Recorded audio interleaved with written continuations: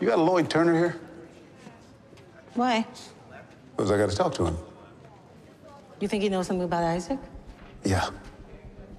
I'll tell you right now, I don't think he knows anything about Isaac. We still got to talk to him, all right? Lloyd? Lloyd! Lloyd, don't run! Lloyd! Lloyd, Nope. Go ahead. Against the wall.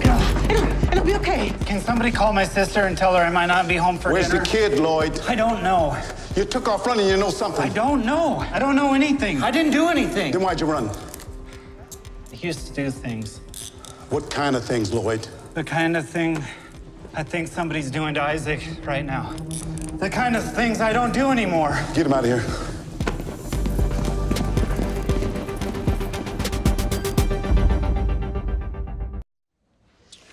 So you're a proofreader at a law firm, a volunteer at a food pantry. I try to do something that's worthwhile. You ever tempted to slip back into your old ways working at the food pantry? No. A lot of young kids around. It's not difficult for you. It's been almost 20 years since I've acted on that impulse, yet you seem intent on doubting that I can control myself. Lloyd, I'm a detective. Part of what I do is to doubt whatever it is people tell me. Now, you work with the Trumans, is that right? Yes. So you're around their son Isaac. I'm around the whole family. Were you around them this morning?